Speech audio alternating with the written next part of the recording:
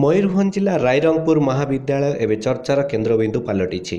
ଦୁଷ୍କର୍ମର ଶିକାର ହୋଇ ଅଭିଯୋଗ ପରେ ବି ଲାଞ୍ଚୁଆ ପୋଲିସ ଅଧିକାରୀ ଅଭିଯୁକ୍ତ ବିରୋଧରେ କାର୍ଯ୍ୟାନୁଷ୍ଠାନ ଗ୍ରହଣ କରିବା ବଦଳରେ ଅନୁକମ୍ପା ଦେଖାଇବା ଘଟଣାରେ ମାନସିକ ଚାପଗ୍ରସ୍ତ ହୋଇ ଚୁକ୍ତିଭିତ୍ତିକ ଅଧ୍ୟାପିକା ରୁକ୍ମିଣୀଙ୍କ ଆତ୍ମହତ୍ୟା ଭଳି ଘଟଣା ମନରୁ ନ ଲିଭୁଣୁ ଆଉ ଜଣେ ଛାତ୍ରୀ ଶିକ୍ଷକଙ୍କ ଦ୍ୱାରା ଅସଦାଚରଣ ଶିକାର ହେବା ଭଳି ଲଜ୍ଜାଜନକ ଘଟଣା ସାମ୍ନାକୁ ଆସିଛି। ଏହାକୁ ନେଇ ରାଇରଙ୍ଗପୁର ମହାବିଦ୍ୟାଳୟ ଏବେ ଚର୍ଚ୍ଚାର କେନ୍ଦ୍ରବିନ୍ଦୁ ସାଜିଛି।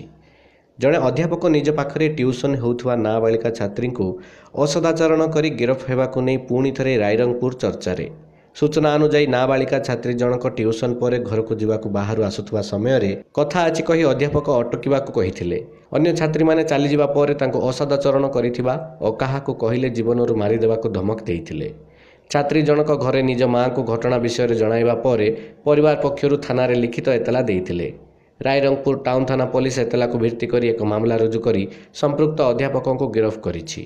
ଗିରଫ ଅଧ୍ୟାପକ ହେଲେ ରାଇରଙ୍ଗପୁର ମହାବିଦ୍ୟାଳୟର କମ୍ପ୍ୟୁଟର ଶିକ୍ଷକ ନିରଜ ବେହେରା।